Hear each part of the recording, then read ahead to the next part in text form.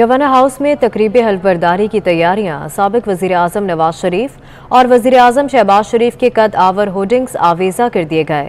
वज़ीर अला पंजाब हमजा शहबाज शरीफ के होर्डिंग्स आवेजा कर दिए गए, जबकि तकरीब हल्फबरदारी में 600 मेहमानों को मदुह किया गया है। मजीद जानेंगे अपने नुमाइंदे राव दिलशाद से। राव दिलशाद बताइएगा तैयारियों के हवाले से। हाँ बिल्कुल जी नामजद नौ मुंतखब वजी अला पंजाब, हमजा शहबाज की तकरीब हलबरदारी के हवाले से तैयारियाँ जारी हैं और गवर्नर हाउस के लॉन में शामियाने लगा दिए गए हैं।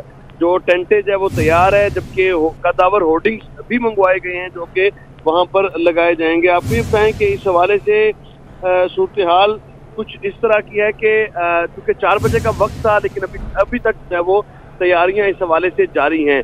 अब चूँकि जो लेटेस्ट अपडेट है उसके मुताबिक तकरीब में मामूली जो तखीर है वो भी मुमकिन है। और क्योंकि वज़ीर अजम पाकिस्तान शबाज शरीफ जो है वो पहुँचेंगे तकरीबन पाँच बजकर पच्चीस से तीस मिनट पर और उसके बाद चूँकि वो भी तकरीब में शरीक होंगे ताम जरा ये दावा कर रहे हैं कि अफ्तार से कबल ये तकरीब जो है वो मुनद कर दी जाएगी। ठीक है बहुत शुक्रिया राउद आपका